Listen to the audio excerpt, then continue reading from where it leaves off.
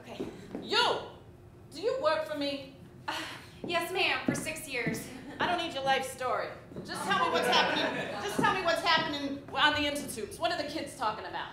Uh, well... Look, spit it out. I got a busload of film students who are about to arrive in about an hour. you fired. Oh, okay, okay, okay. Uh, there is a video that got 50 million hits this week. Gold! Who's the star? Uh, his name is uh, Joseph Kony.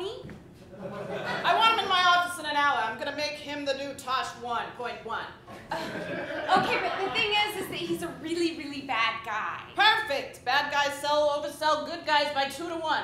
I want paparazzi pictures of him hanging out in the clubs. I want him out there with the Jenners and, and the Kardashians. I want him on my desk in about a month. Uh, okay, but I don't think you understand. I mean, the thing... Look, tell me about this video. I mean, it's not some dude getting a nut shot from a pool cue, is it? Is it? No. No, no. It's a 30-minute documentary. Are you shitting me? Are you fucking shitting me?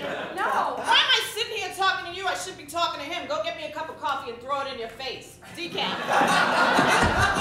Uh, my own face? In your own face. Oh, okay, okay, got it. Uh, uh, all right. Um, well, the, the thing is, is that it was a nonprofit group that made the film. They're called the Invisible Children, and you know, it's a whole. Invisible kids. I can see it. I mean, the superheroes are the thing right now, like ghosts. Invisible. I mean, either way, it's money.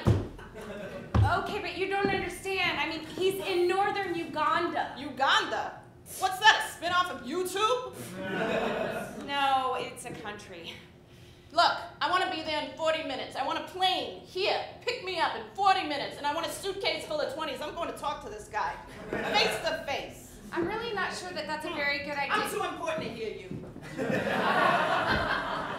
well, he's got to be funnier than Rob Schneider.